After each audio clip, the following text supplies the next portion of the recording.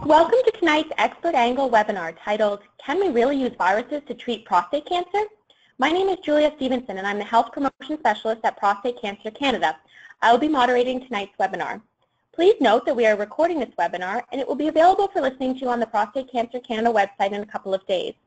We'll start with a few housekeeping items.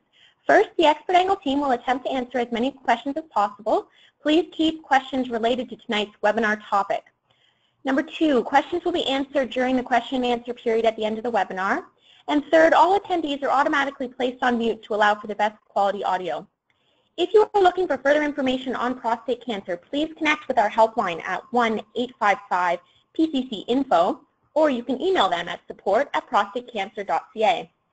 And now I would like to introduce you to tonight's guest speaker, Dr. Jean-Simon Diallo.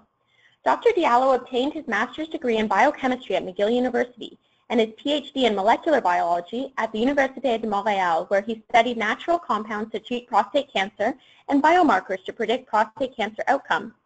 During his postdoctoral fellowship, Dr. Diallo worked on using oncolytic viruses to treat cancer and discovered a host of viral sensitizer molecules that enhance viral infection. Since 2012, he has been a scientist at the Ottawa Hospital Research Institute.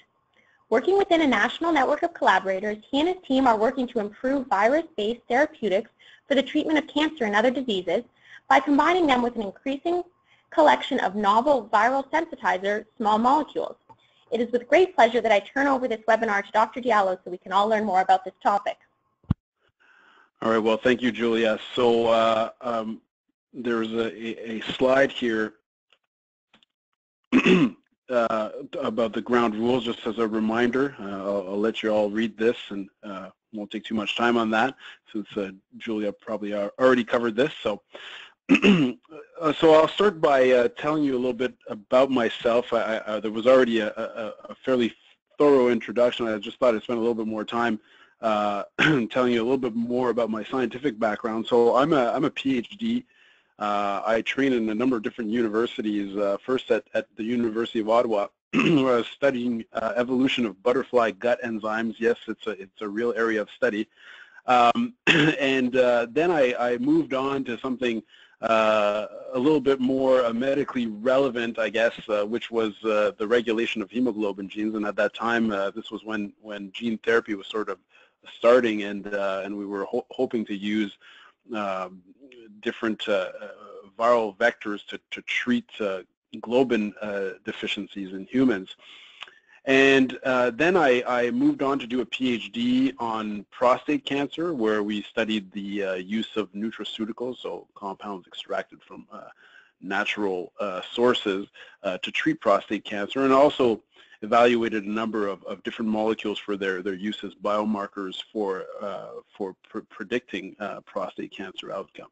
so I did that under the umbrella of uh, Dr. Fred Sad and, and Dr. Anne-Marie Mesmasson, uh, who were my mentors during that time.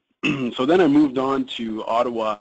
Uh, I moved back to Ottawa uh, and, and was, was sort of fell in love with, with oncolytic viruses uh, when I started my postdoctoral fellowship with uh, Dr. John Bell, who's, who's another one of my mentors and, and, and a great collaborator, um, and who was actually a, a, very much a pioneer in this particular area of research, which I'll tell you a little bit more about uh, as we move forward. So uh, as Julia mentioned, I'm, I'm a scientist at the OHRI since 2012. Um, and uh, and we're working on a number of different areas uh, with a strong focus on oncolytic viral therapy, so viruses to treat cancer.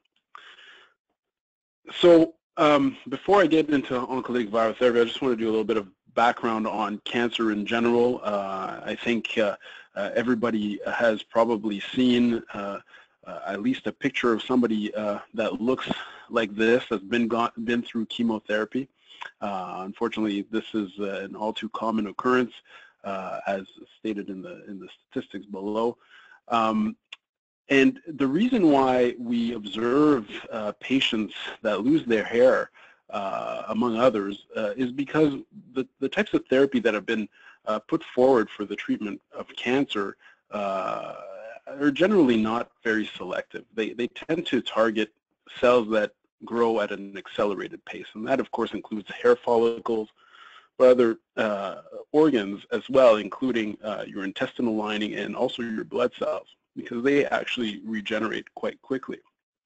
So the hair loss is actually just a kind of a minute, although very impactful and uh, emblematic uh, side effect that, that is associated to chemotherapy and these sort of first generation cancer therapeutics. So there's a large unmet, unmet need in cancer therapy. Uh, and, and the main reason for that, although chemotherapy has uh, been effective and can be effective in some uh, malignancies, um, most of the time the current therapies that are available, uh, particular chemotherapy, is not curative.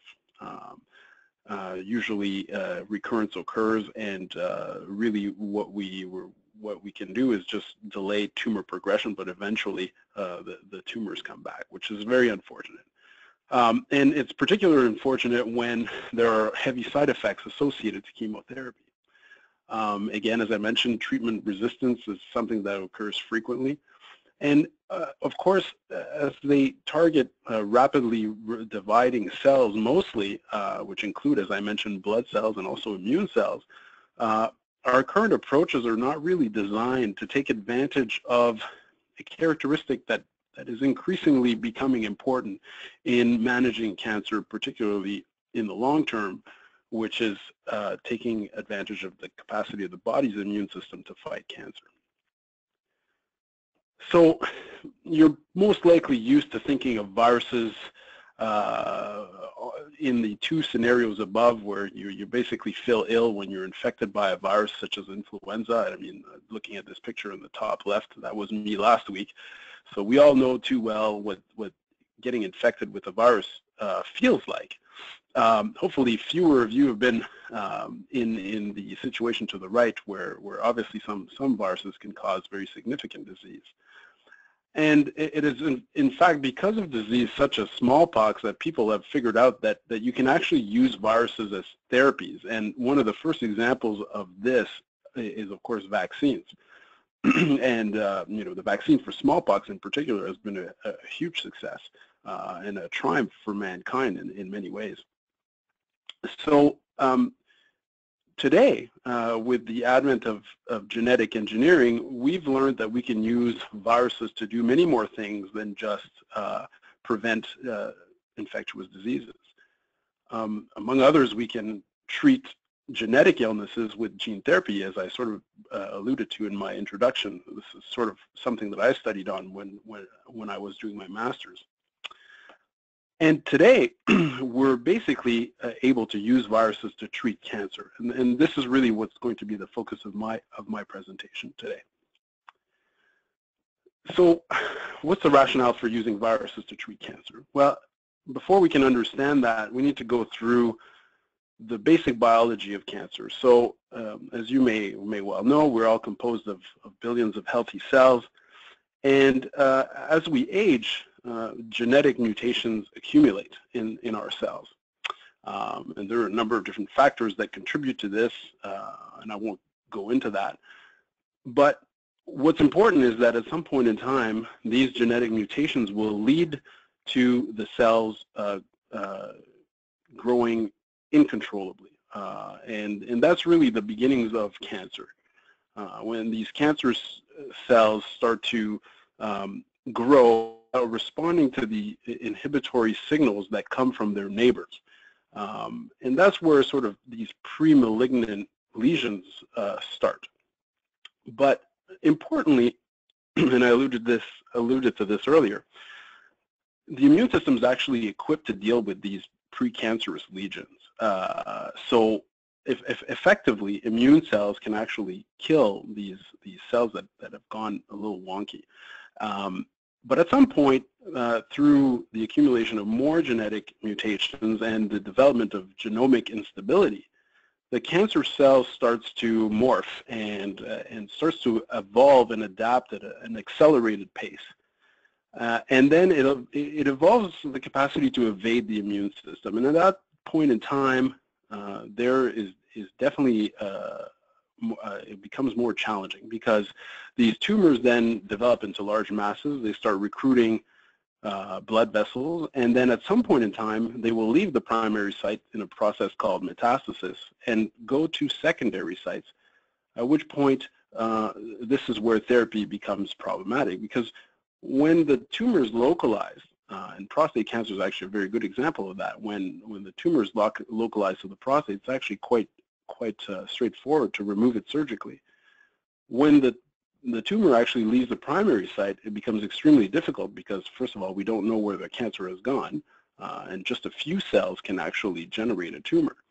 Um, and usually that's what, what causes uh, the major problems and where we have to resort to things like chemotherapy. Um, so there, uh, at this point, the, the, the, the, junction at which the, the cancer cells start to evade the immune system uh, actually provides us uh, an opportunity to design viruses that re replicate specifically in cancer cells. And that's really the concept behind an oncolytic virus. The oncolytic virus is basically a virus that's been designed to take advantage of the accumulated defects in cancer cells. And they're designed in such a way that they replicate only in tumors but leave normal cells unharmed. That's the general principle behind an oncolytic virus. And you can really generate an oncolytic virus from any given virus. Obviously, there are some advantages to using some viruses over others.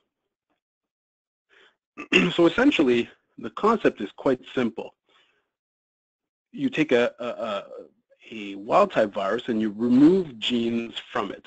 Uh, you make it more attenuated, either by genetic mutation or through selective pressure. And by doing this, we can have the viruses work for us to treat cancer. And, and just to give you some more clear examples of how this works. So again, cancers uh, exhibit several hallmarks that make them actually favorable breeding grounds to viral infections. And I mentioned already a few, one of which is, of course, the increase in cell proliferation that, that most cancers uh, experience. And that's associated to the production of more protein, the production of more nucleotides, which is actually the, the, the building block for DNA and, and, and other genetic molecules. Um, so those things viruses need as well. In order to produce themselves, they need to actually make protein and make nucleic, uh, nucleic acids. And so viruses need very much the same things as cancer cells do, and they have genes that actually help them produce that and help hijack the cell in order to produce more of these things. So when we delete genes that are important for these things, we can now make the virus very dependent on the cancer cell in order to produce them, such that the virus no longer replicates in normal cells, but can still replicate in a cancer cell. Very similarly, uh, I mentioned uh, that uh, at some point in time, the tumors start to evade the immune system, and, and by do, in the way that they do that they actually throw the baby out uh, with the bathwater. So they actually get rid of their whole antiviral uh, response systems. And normal healthy cells have these systems such as to avoid being infected by viruses. That's our first line of defense. And so they throw this system out, and with it, they leave themselves extremely vulnerable to viral infection.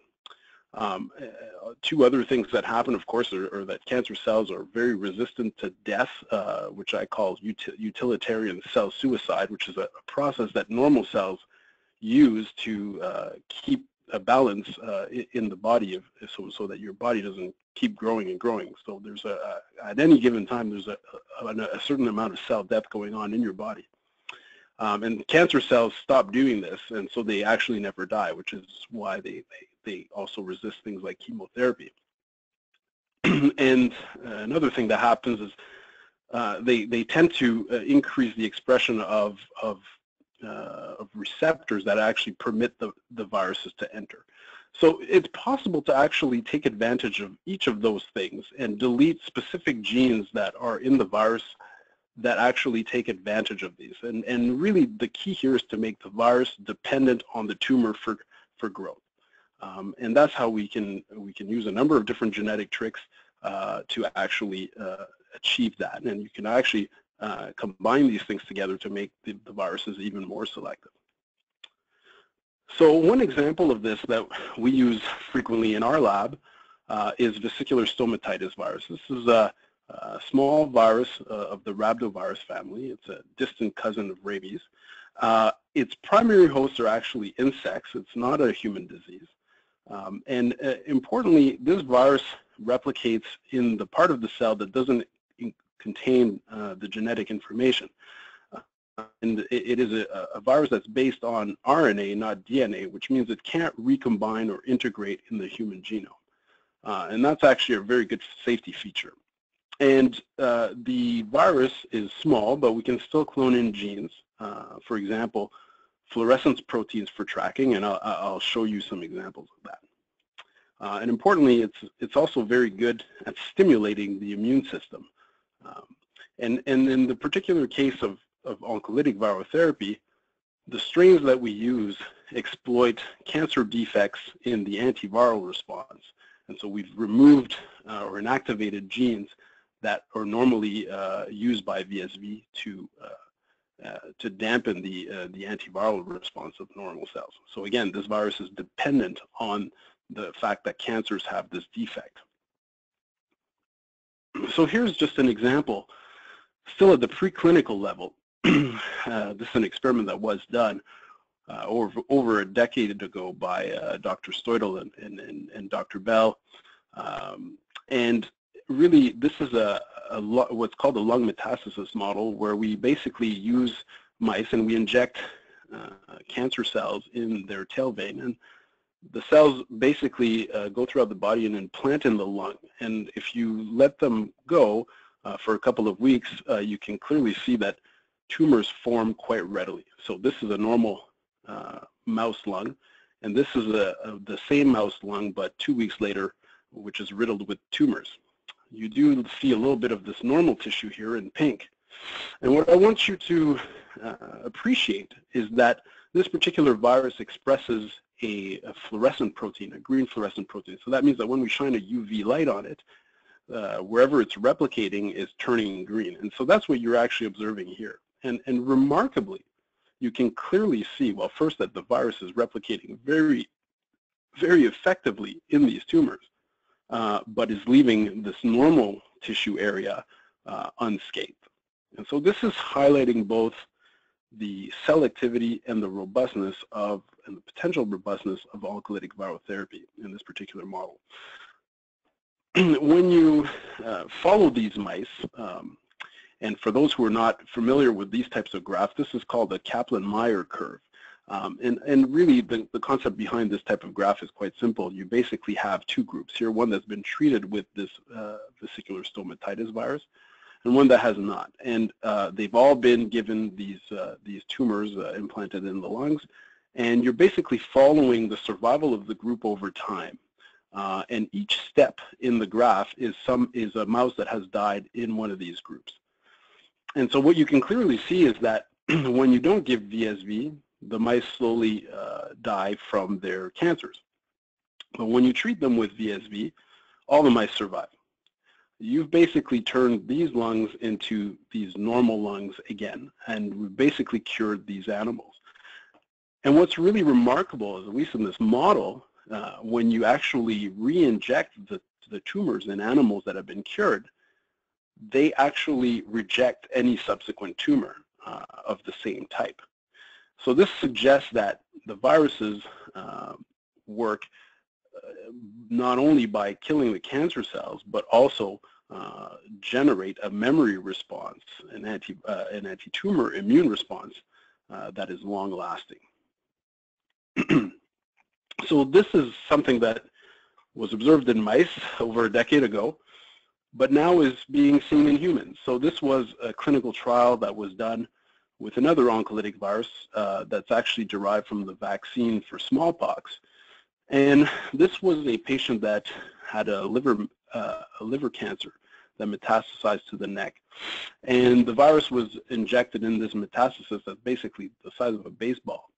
And over a period of a month, the tumor completely went away. Uh, and eventually this patient uh, passed away of natural causes not related to either virus or cancer.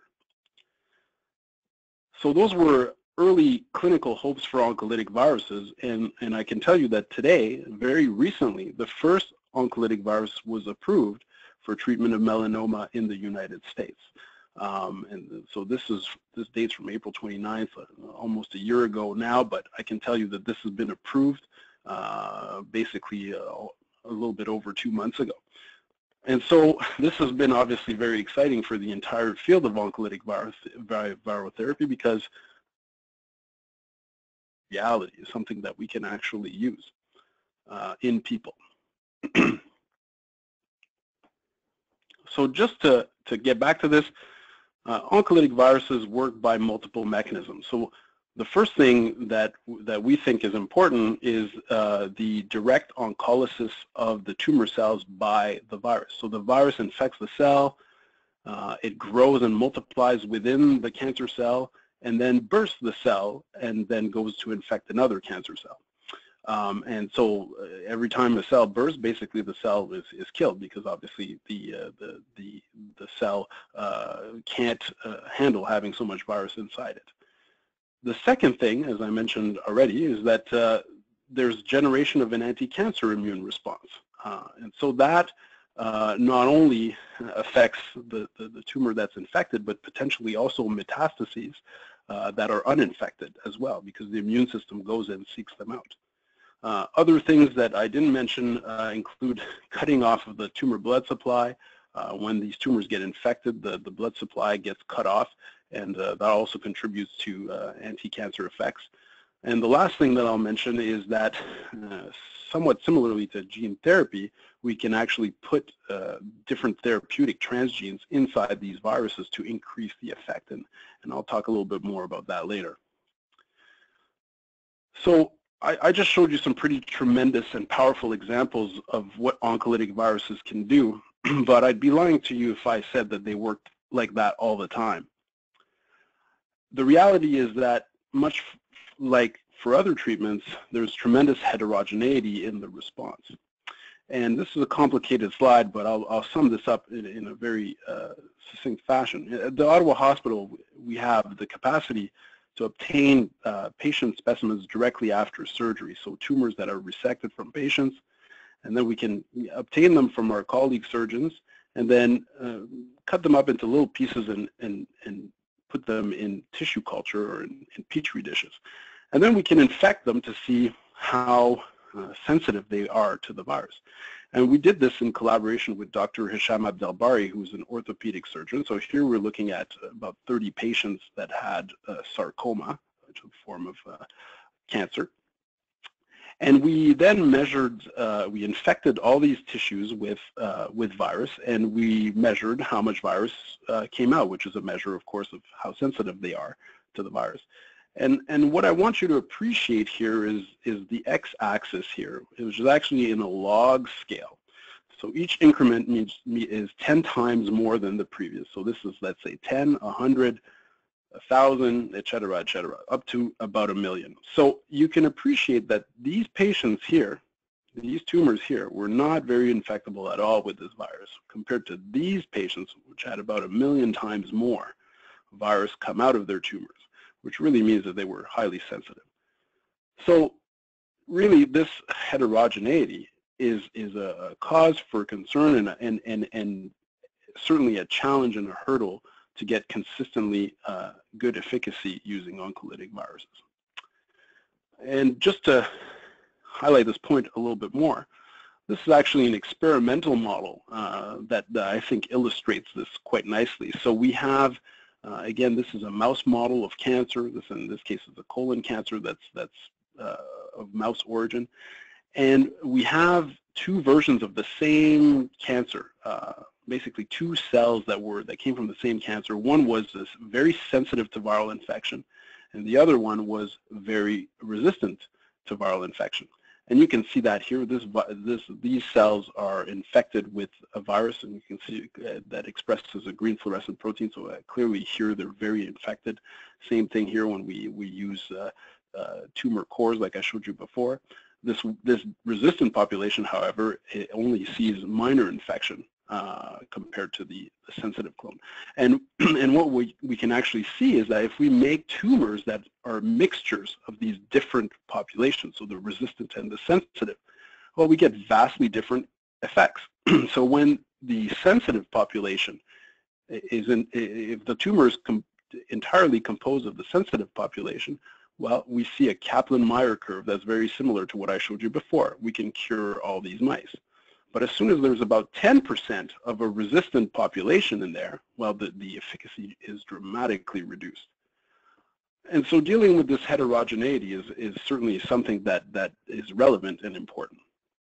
So how do we deal with this? Well, there are a number of strategies, and I'm, I'm not putting them all here, but I, I want to focus on three that we think are important. so one of them is to select more effective viral strains, strains that are just more effective right from the start. The second approach is to leverage the immune response. Uh, and we can use a, a trick borrowed from vaccines to do that, and I'll explain that a little bit later. The third is that you can actually use drugs to sensitize tumors to viral infection. And that's something that I specialize on and which I'll discuss a little bit more. So the first one, selecting better viral strains. So here's an example of, of, of how we can do this. So uh, I showed you data with VSV, vesicular stomatitis virus, which is again a rhabdovirus. And uh, what was done by uh, Dr. Stoynal's group was, was something called bioprospecting. So uh, biologists like to go around the world and collect different uh, strains of viruses and bugs. And they usually keep libraries of these things, and so fortunately someone uh, had the bright idea of, of making a library of rhabdoviruses, which uh, Dr. Uh, borrowed and tested uh, on a number of different cancer cells.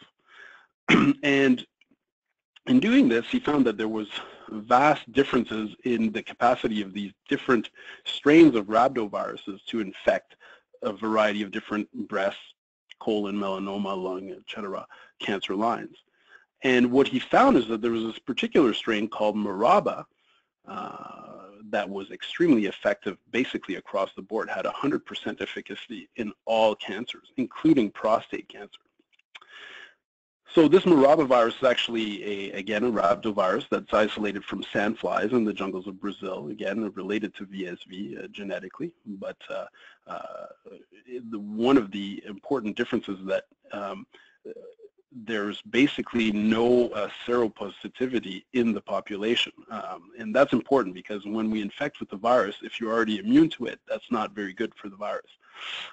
so um, so that was a, a very good feature. Um, and again, uh, genetically, it's very, very close to vesicular stomatitis virus, which we knew was very selective, effective, and safe. so Maraba is a, a very good candidate, uh, and some it's a platform from which we can work and improve upon. And one of the ways we can improve upon it is by leveraging the immune system. So I, I mentioned this a little bit earlier, uh, that cancer cells over time learn to evade the immune system because the immune system, and in particular uh, cells called T cells, uh, recognize uh, proteins on tumors that are uh, associated to the cancer uh, the, the, the, cancer characteristics. So the, the T cells will actually latch onto these cancer cells and try to kill them. Um, what happens over time is, of course, that the T cells become very ineffective at doing this because the tumors evolved ways to get around that. Um, and really, the trick here is to actually re-stimulate these cells to attack the tumor, using the virus as a way to stimulate them to do that. So the way that's been devised by uh, my colleague Dr. Brian Liechty and Dr. Yong Hong Wan at McMaster University is to use a an old trick from vaccines, which is basically uh, called a heterologous prime boost. And really all it is is, is basically boosting uh, a vaccine against a cancer uh, protein. Um, so I'll try to, to explain this because it's a little bit complicated, but it's important to understand because I think it's a powerful technique. So really, I, I mentioned before that uh, cancers actually uh, express proteins that, that are sort of unique to cancers, and those are called cancer antigens. And for example, uh, in melanoma, one of those antigens is called DCT. It's actually a protein that's uh, involved in uh, the formation of pigments. That's why melanomas are often black. And so DCT is what's called a, a cancer antigen. So you can vaccinate animals against this antigen. Um, that will create some kind of immune response against the cancer, but that's not a very effective response. Um, you can see here, if you look at the activation of the T cells that I just mentioned, uh, the vaccine for DCT is modestly effective at acti activating T cells. So the, the higher up, the more activated. Um, again, if you look uh, at, at, therapeutic efficacy, you see that this vaccine does have some impact on tumor growth and, and, and progression, but not terribly uh, much. So the trick here is to, after you vaccinate against this cancer antigen, you then boost uh, this uh, vaccination using an oncolytic virus, again, a virus that will replicate specifically in the tumor, but that expresses this same cancer antigen. Um, and, and really, you've all been to the doctors before and had your vaccines, or you go in for one shot and then they ask you to come back a little bit later to get a booster. Well, this is the same concept, it's just you're using two different vaccines. The common ground between those two vaccines is the cancer antigen. And that combination is extremely effective. So you can see here how activated the T cells are against that cancer antigen and the correlating impact on tumor progression. And, and this is so powerful that now this melanoma metastasis model is, is cured. So these are now long-term responses. So I think that's a, a very powerful approach and a, and a, way to improve the efficacy in, in the face of heterogeneity.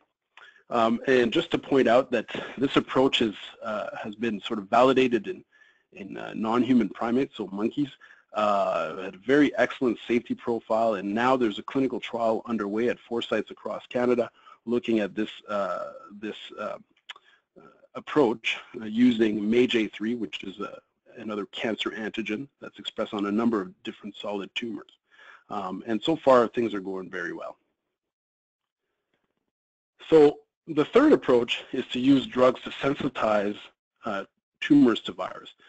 And uh, again, if you, if you remember the graph that I showed you with the different tumor specimens and their different sensitivities to viral infection, well, this is kind of highlighted here.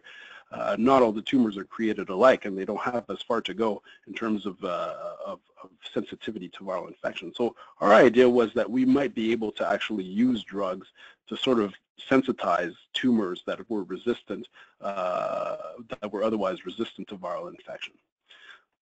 And so, long story short, this is something that I did during my postdoc. Um, basically, I screened thousands and thousands and thousands of drugs. I, I, used a robot to do this. It took a good part of two years of my life to actually go through all these drugs and to design this experiment. And at the end, it was a worthwhile effort because we identified over a dozen compounds we now call as a group viral sensitizers that really sensitize resistant cancer cells to infection with oncolytic viruses such as VSV and Maraba. So here what you're looking at is, again, a virus that expresses a fluorescent protein. In this case, it's a red protein. And in control conditions, what you're looking at are a few foci of infection because this cancer cell line is resistant to the virus. but when you treat with viral sensitizers, you can clearly see, uh, plain as day, that the virus is now spreading uh, quite well within these uh, resistant cancer cells. So the cancer cells are no longer resistant to the virus, and therefore we can uh, regain therapeutic efficacy. And so one thing that, that I want to highlight is that many of the compounds that we identified are actually microtubule targeting agents. Um, and, and that'll become uh, important in, in, a few slides. Um, and, and this is just to show that we used a different number of models in, in mice, uh, ovarian cancer, colon cancer, and, and at least four different ones, showing that these microtubule targeting agents can really uh, improve the efficacy of an oncolytic virus. In models basically where neither virus or the drugs that are often, uh, among others, used for chemotherapy uh, so they're on their own not effective, but in, uh, in combination with the virus, uh, you start to see delayed tumor progression. so what about prostate cancer? Um, Well, you probably know that prostate cancer develops from uh, your prostate gland, uh, which is situated just below your bladder. Um, and of course, uh, when you present with prostate cancer, you may uh, present at different stages. And at the early stages of the disease, uh, really treatment by surgery is quite effective. But at the later stages, uh, where the disease starts to spread and, and disseminate towards, for example, the lymph nodes and elsewhere, uh, this becomes much more difficult to treat. And this is sort of the normal progression, well, not normal, but this is sort of the worst case scenario of prostate cancer progression. Uh, usually uh, patients present themselves after a rise in, in PSA, prostatic specific antigen, and then they undergo either surgery or radiotherapy, and then they have a, a drop in, in PSA. And if there's cancer that remains, there will be a rise in PSA progressively, and at some point in time, uh, the, the, uh, the, doctors will often prescribe what's called hormone therapy, which really is, in a nutshell, uh, using the fact that prostate cells require testosterone and androgens in order to survive. So if you remove those androgens or testosterone, they start to die. And that's really what hormone therapy is all about.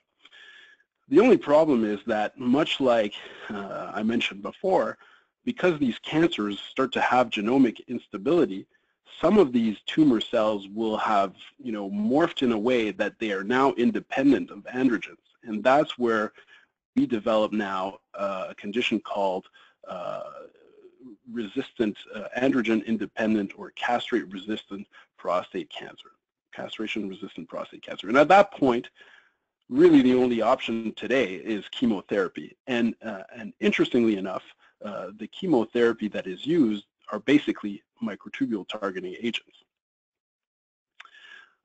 so we, uh, we think there's some opportunities for viral therapy in prostate cancer. So uh, the concept of using a vaccine for prostate cancer is not a new one because, in fact, one of the first vaccines, uh, cancer vaccines, was approved for prostate cancer. It's called Provenge.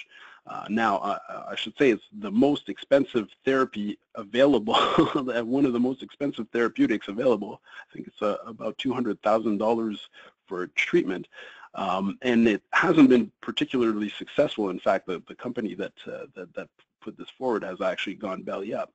But it, it, it has shown proof of concept that you can use a vaccine in the context of prostate cancer, and I think that's important.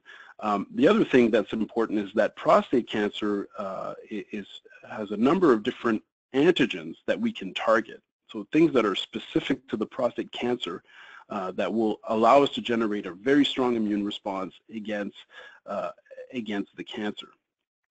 And the third, uh, which I alluded to already, uh, is that microtubule targeting agents that we know enhance viral growth and viral efficacy are actually standard for management of uh, castrate-resistant prostate cancer. So here's just kind of an example uh, I wanted to leave you on. This is a, uh, a prostate cancer specimen that was obtained by colleague of mine, Rodney Bro, at uh, the Ottawa Hospital. And uh, we, we can see that this uh, tumor was infected with the Miraba virus expressing green fluorescent protein, and this particular patient is somewhat refractory to the virus on its own. But again, uh, adding docetaxel, which is a uh, mainstay therapy for advanced uh, androgen-independent prostate cancer, we can see more infection. Um, so, so again, we, we feel like prostate cancer is a, a, potentially a very interesting target for uh, prostate cancer for, for these number of reasons. So I'll just uh, stop here and summarize. Um, first, I, I'd like to just remind you that tumors evolve to escape the immune system, and this is really an opportunity to design oncolytic viruses to treat cancer uh, and, and in fact use immunotherapy in general to reactivate that immune system to attack the cancer. Uh, oncolytic viruses are now a clinical reality. They're used in humans, and I think it's now time that to uh, you know go beyond melanoma and, and start attacking different solid malignancies like prostate cancer. Uh, oncolytic viruses, again, work by multiple multiple mechanisms, and I think that's that's largely why they can be so effective. but again, they, there are some hurdles, and we can still improve them uh, by using more effective strains like virus, uh, leveraging the immune system, using the oncolytic vaccine approach, and combining with drugs, uh, as for example with docetaxel. and for all those reasons, I think prostate cancer is a logical target for this form of therapy. Uh, and uh, I'm not the only one that thinks this. Fortunately, we've been blessed by receiving a, a, Movember team grant, and we thank the Prostate Cancer uh, Prostate Cancer Canada for this. Um, and uh, this is a grant that uh, involves multiple investigators across Ottawa, Hamilton, Montreal, and also Toronto. Um, and the goal is simple. We want to develop an oncolytic vaccine for prostate cancer and evaluate it in patients. Um, and so this project is led uh, by uh, my mentor and colleague, uh, Dr. John Bell, uh, working with me in Ottawa, as well as uh, Dr. Brian Lichty in Hamilton and Sebastian Hott, who's a clinician at McMaster, and also my previous mentor, Fred Sad, uh, who, who, guided me through my PhD, who's in Montreal, who has be become very interested in uh, this particular project and, and, moving it to the clinic. Um, so essentially, that's all I have for you today, and uh, if there are any questions, uh, I'll do my best to answer. Great. Thank you very much, Dr. Diallo. Before we take any questions, and just a reminder to please use the questions box to do this, we would like to do a quick poll to see how many people were participating in today's webinar. I'll just give everyone a few seconds to do this.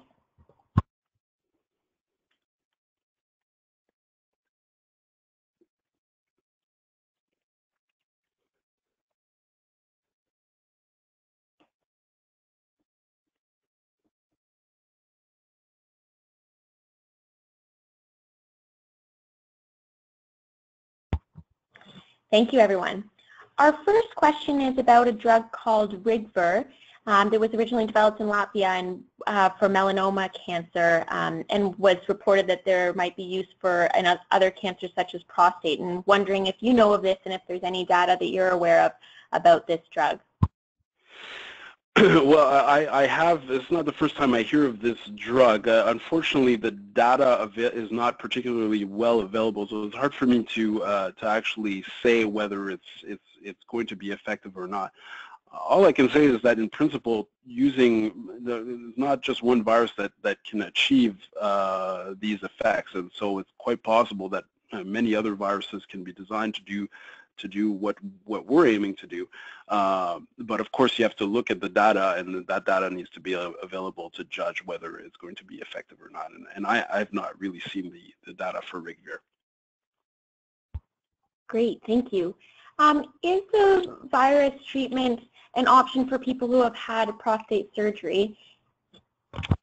Uh, I, I, think so. Uh, in, in, fact, uh, many of us believe that the oncolytic vaccine uh, might be most uh, most beneficial, particularly at that stage. So um, once you've had your prostate removed or your cancer removed, the hope is that you don't have any cancer left over. But there's never a guarantee of that uh, because, of course, these cancer cells are microscopic and we don't yet have the detection methods to actually go in and, and find uh, uh, any tumors below, uh, for example, one millimeter. Um, and so it's very difficult to know whether you have cancer is still remaining in you after uh, surgery. And so at that moment in time, you have very little tumor, and if you use an oncolytic vaccine approach, you may be actually able to generate an immune response against that little amount of tumor that's left. Uh, and so we think that that might be a, actually a really great place to intervene. Great, thank you. We have a number of questions about um, how people can access virotherapy in Canada. So could you give us a little bit of an overview of the scene of um, is this treatment being used for prostate cancer patients? If so, where in the country? right. So, so that in, at this point, because these these uh, particularly the oncolytic vaccine approach is still at the experimental phase, uh, we're still doing phase one clinical trials, which are basically looking at safety in all comers. So, really, the only way to get on that trial is to uh, basically contact uh, your physician uh, or your oncologist and and let them know that you're interested in this trial, and and they would have to themselves forward to our clinical uh, trials office uh, in order to uh, see if they're available. But unfortunately, I have to say that these things are on, uh, patients on are on waiting lists, and that waiting list is already full for our trial. Uh, now, again, there are other oncolytic viruses that are being evaluated all over the place, and, and my uh, general advice is to always look on clinicaltrials.gov because there's a lot of different trials that might be available other than the oncolytic viruses that, that we're working with today. And, and again, the first approved oncolytic viruses is only for the treatment of melanoma. Uh, I'm not sure if they have a prostate cancer trial, but that's something that you can find out about in clinicaltrials.gov. Great, thank you.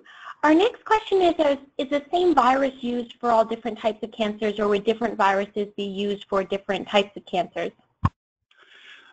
So there's there's the opportunity to use different types of viruses for different types of cancers. Um, now, obviously, we tend to prefer a silver bullet type approach, and, and in fact, uh, viruses like Maraba, technically speaking, can really attack any given uh, tumor, except uh, there may be some sites where you might want to prefer one virus over another. So for example, uh, viruses that will uh, trigger uh, inflammation in the brain probably wouldn't be very good for, for uh, brain cancer. Um, uh, and, and in other ways, some viruses can't infect certain types of cells. So for example, the smallpox vaccine, and I, sh I showed an example of that particular virus, uh, actually doesn't infect blood cells, so you can't use those for blood-borne uh, cancers. Um, so there is some selectivity, but in principle, uh, you can use one virus for multiple different types of cancers. Great, thank you. Can you let us know a little bit about what the side effects would be um, for someone going through uh, uh, using this treatment for cancer? So really, that's kind of the beauty of this approach, and I really should have mentioned that earlier. Uh, so I really thank uh, whoever asked this question. Um, really, that's one of the main differences between chemotherapy and oncolytic viral therapy. For oncolytic viruses, what you experience are basically flu-like symptoms for a period of 24 hours. This is a far cry from the hair loss and all the sequelae that you get from chemotherapy. Great, thank you. And for um, hypothetically, for a patient that's gone through chemotherapy and radiation and they have immunosuppression um, with their prostate cancer, what would be the effect of OV on those kinds of, on patients that have already gone through a chemo or radiation therapy for, for prostate? well, that that's an excellent question, uh, and and of course the the the early clinical trials are usually uh, done in patients that are not immunosuppressed as much as possible, uh, but our data suggests that in fact the viruses can be more effective in some cases because they can actually infect the, the tumors better. So for example, in the in the combination with a microtubule destabilizer, which uh, uh, or a microtubule targeting agent, we'd expect to see better efficacy. Uh, so uh, I think uh, initially, you know, the initial safety data is obtained in patients that are not immunosuppressed but uh, I think there is the potential to treat even an immunosuppressed patient because of the inherent selectivity of the virus towards the cancer.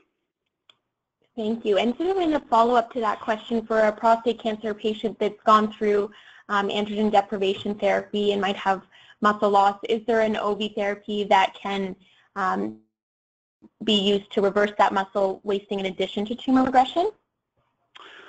Well, that's a good question. I don't think anybody's ever looked at that, to be completely honest with you. So um, it's an interesting possibility, uh, uh, but I'm, I'm not aware of that. Thank you. And there's a couple questions here about virus and influenza virus being used as um, potentially viruses in the treatment against cancer. Is there anything you, um, anything you could speak to about that? well, yeah, I mean, again, I, I think I mentioned earlier, uh, it's definitely possible to use any virus for uh, for uh, as an oncolytic virus, but some viruses have advantages over others. So, uh, you know, one of the issues that we do come across, and, and, this kind of links to the immunosuppression question, is that if you have an existing immunity against the virus, it's much harder for us to deliver the virus and for the virus to be effective because the immune system are already is is uh, uh, has the immunity to, to get rid of the virus. And so that can become a problem. So in the case of measles, uh, you can overcome that problem by just giving really, really, really high doses. Uh, but then that comes with the caveat that, that from, from uh, something mundane like manufacturing, uh, it becomes a real problem because you need to manu you need to make so much virus uh, in order uh, to be effective that it becomes a little bit prohibitive. But it's definitely possible to use measles in patients that have uh, very little response against that, against the virus because most of the population has already been uh, vaccinated with measles and, and the same is true for many strains of influenza. Great, thank you. The next question is about is OV therapy effective against any type of prostate cancer or because of the mutations with prostate cancer and the different types, is it more, is uh, using a virus more effective with certain types of prostate cancer than others? Well, you know, that's that question is still wide open, and we're hoping that with the with the the team grant that we've obtained, we can we can start to get uh, get answers to those questions because really that's not been uh, thoroughly explored yet in the context of prostate cancer. Great, thank you. Um, the next question we have is how long do you think it will be before prostate cancer might be treated in this way? well, uh, so I'll give you some timelines that, that we're thinking about uh, because obviously we're, we're actively pushing towards this. There may be other teams that are working on this in parallel. But as for our group, we're aiming to have a clinical trial underway within the next five years. Um, and, and of course, if we're successful, we expect that you know, it'll be probably another uh, at least three to five years after that before that's actually available. Uh, that being said, there may be other teams that are out there working on prostate cancer using other viruses and other approaches, and they may be uh, available earlier. Um, and but really, uh, based on that, I would I would estimate that within the next five to ten years, we should start seeing some of these things appear for prostate cancer. Thank you. And for patients who want to follow your research and your progress, um, what's the best way for them to do that, to, to keep track of what's happening? Well, that's a good question. Um, well, you can always Google my name. That usually uh, shows uh, what what my me and my team are up to.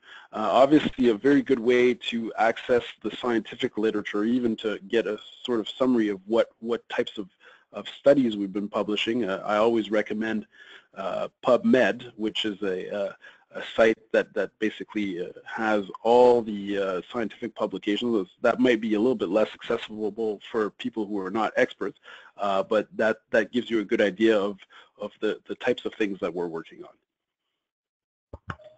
Thank you. And can you reiterate for folks um, where the best place is for them to follow upcoming clinical trials, clinical trials that might be in the works now or maybe down the line to check if there's new clinical trials in this area near them? What's the best place for them to find that information?